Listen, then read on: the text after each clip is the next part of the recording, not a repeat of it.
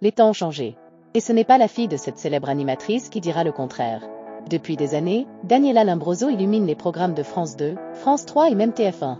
Et au cours de sa carrière, elle a vécu des moments particuliers. Une vieille archive a récemment refait surface sur les réseaux sociaux.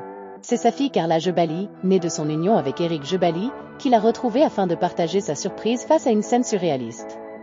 C'est sur TikTok, où elle est suivie par plus de 300 000 abonnés, que Carla Jebali, vue dans l'émission de télé-réalité Les 50, W9, a partagé un extrait d'une vieille émission au cours de laquelle sa célèbre mère se tenait à côté de Serge Gainsbourg. Chemise boutonnée, veste de tailleur et jupe assortie, Daniela Limbroso affichait un look sérieux ainsi qu'une coupe courte à la garçonne.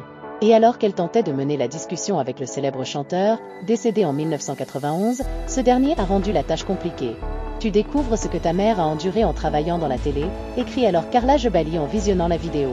Et de s'indigner du traitement que sa mère a subi de la part de Serge Gainsbourg, il lance des tais-toi aux femmes en direct. Il lui touche la cuisse, puis la poitrine, en toute décontraction. Vraiment des goujats. Elle essaie de maintenir le débat, quel courage. Attouchement et insultes qui révoltent la jeune femme. En légende, elle qualifie cette scène des outrageantes et évoque de la misogynie. En commentaire, les internautes sont nombreux à réagir et surtout à s'agacer de la situation.